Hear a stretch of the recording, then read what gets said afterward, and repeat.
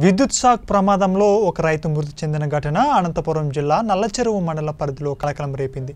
రైతు బోరుబావి వద్ద స్టార్టర్ మరమ్మతు చేస్తుండగా విద్యుత్ షాక్ గురై అక్కడికక్కడే మృతి చెందాడు. దీంతో ఆ ప్రాంతంలో విషాద ఛాయలు అలముకున్నాయి. అనంతపురం జిల్లా నల్లచెరువు మండల పరిధిలోని గోరంట్లవారిపల్లి వద్ద దామావాండ్లపల్లికి చెందిన ఆనంద్ విద్యుత్ ఘాతంతో మృతి చెందాడు. స్థానికులు తెలిపిన మేరకు గోరంట్లవారిపల్లికి చెందిన రైతు రామప్ప బోరుబావి వద్ద స్టార్టర్ మరమ్మతు చేయడానికి దామావాండ్లపల్లికి చెందిన ప్రైవేట్ ఎలక్ట్రీషియన్ ఆనందమును పిలుచుకు వెళ్ళారు.